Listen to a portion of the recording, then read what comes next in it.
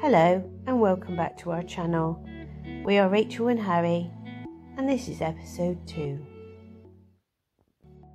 Good morning everybody. Um, today we are going to go to Castelo Novo, to the river beach and to the castle and we might try and go to Penamacor, somewhere we want to check out and maybe go to the Marateca, the um, lake. So um, it's another beautiful sunny day. It's not too hot yet, which is why we're getting out. And um, so yeah, come along with me. So we arrived at Castelo Novo River Beach and we came back because the last time we were here it was October and this time it was the end of May and we wanted to see how different it looked. Again, it was early and there wasn't anyone around, nothing was open, and it was just beginning to be the start of the season. The water had been now dammed, so in preparation for people to swim. On the other side, is a place where you can sit and have picnics, and there are places sh- nice and shady.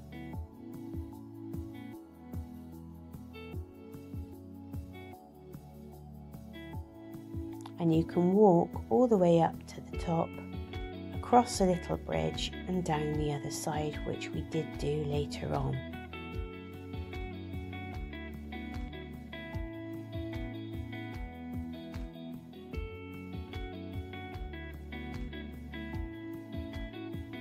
Video was filmed at half past 10 and it's absolutely baking hot already.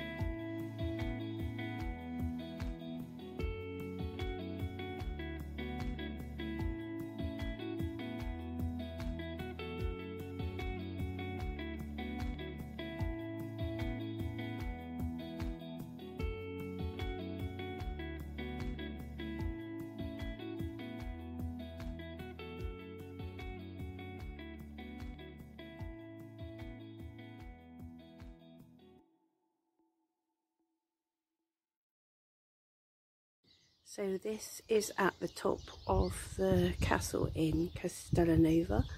There's a little seat there and I'm just going to show you the view. The view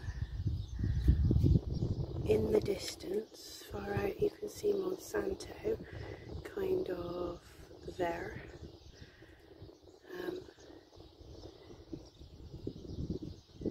we're just about to be joined by another couple, but before then, there was literally no one else here, as we get used to in Portugal, basically just being the only ones here. Absolutely beautiful. And I'll just take you out the other side now. There's Harry just chilling in the shade. Say hi to your fans.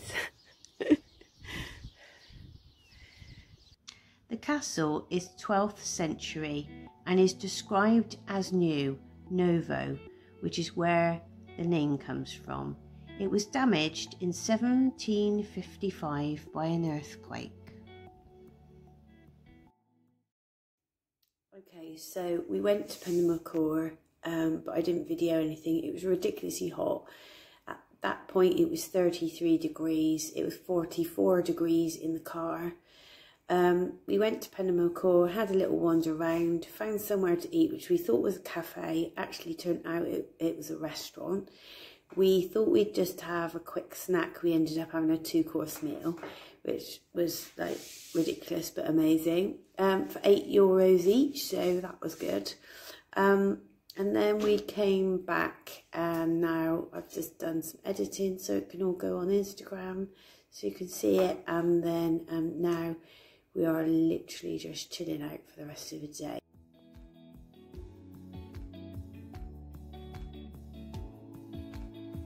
Whilst we were chilling out, we had a little visitor and we called him Flash.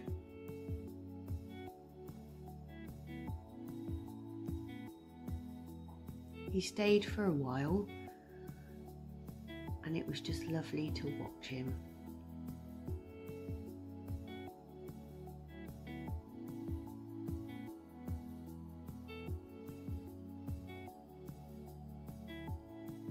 Very soon he was off.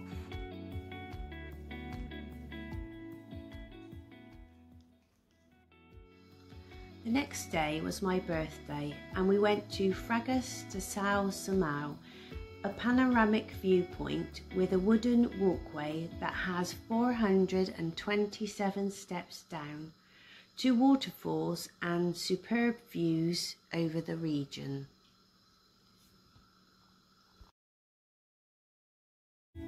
So this is the walkway that we're going to be going all the way down.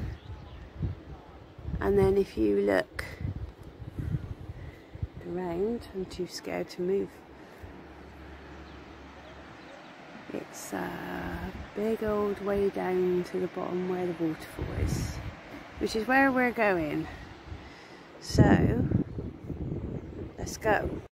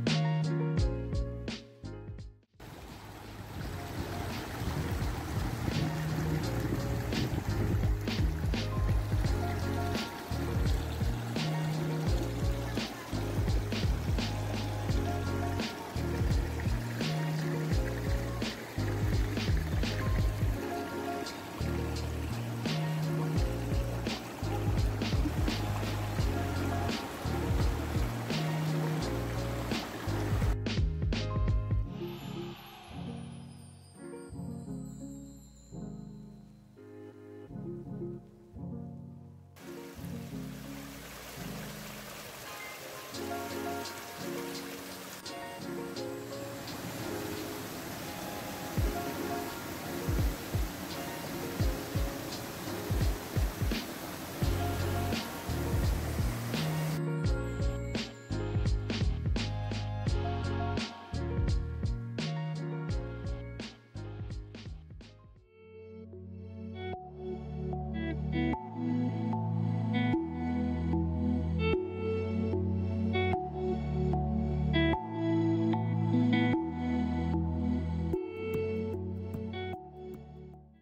So we decided we would go to Fundão and um, go and have a look at the market. So we found a little app that says you where you can park for free.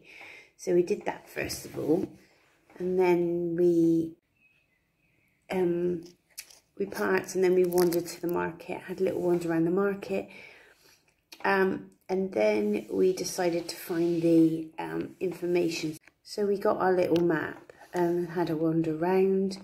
Then we found a little park where there was a Fundão sign and I said to Harry I wanted a photo. Um, then we found Lidl because we were hungry by this point. Got some bits for lunch, came back and had our food. And so I think that we are going to have a little wander to the next village called Alpendrina. Is it Alpendrina? Alpedrina, yeah. Really lovely village where we would really like to live. But um, there's some bits and pieces there. So we're going to have a wander around, around there this afternoon. So we had our little walk around Alpedrina late afternoon. Went to the palace with a fountain at the entrance up the Roman road to the entrance. The palace is now a museum and it has been a hospital, a courthouse, printing house, and is now a museum visitor centre with a beautiful view from the top. The next day was Harry's 50th birthday, and we went to a village called Idanha-a-Velha, recommended by our good friend Rogerio. It is one of the oldest towns in Portugal with a history of Roman settlement dating back to 16 AD. Idanha, meaning the old, has been described as a modest village with a rich historical background.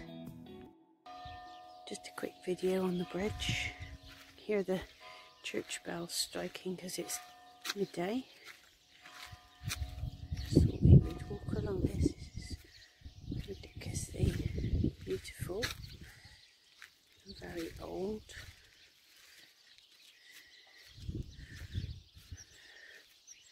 Happy birthday to Harry as well.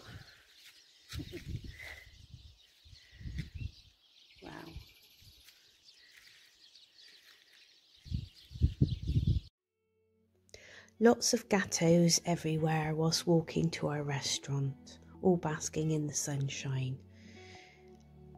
And then we stumbled upon a village square with a beautiful monument. Lots of beautiful things along the way.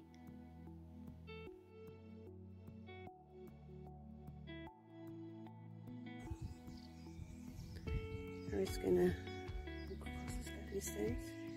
When the water's higher,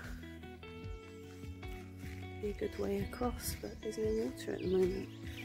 It's literally next to nothing.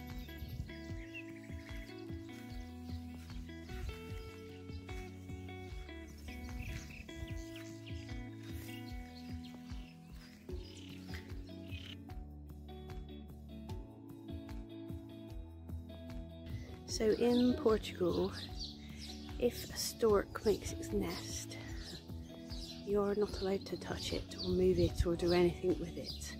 It's absolutely blinking huge as well. My worst nightmare. But yeah, we've just found one right by the restaurant we're having our lunch in.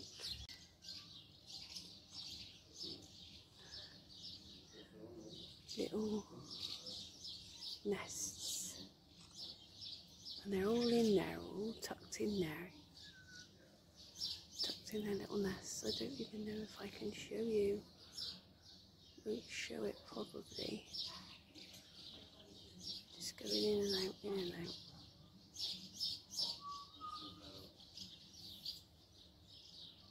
Oh, they're flying everywhere. So we're at the restaurant where we're going to have our lunch and it looks like it's Gato's feeding time. There's two there and then there's two waiting and as you can see from the shadows there's lots of birds flying everywhere which must be thinking cats cats heaven. Casa de Fonte is the restaurant where we had our meal. Three course meal absolutely beautiful. And then at the end we were able to sign the wall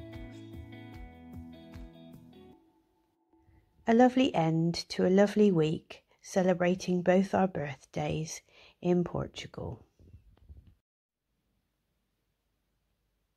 Thanks for watching. If you liked our video, please like, comment and subscribe and don't forget to hit the notification bell. Ciao for now.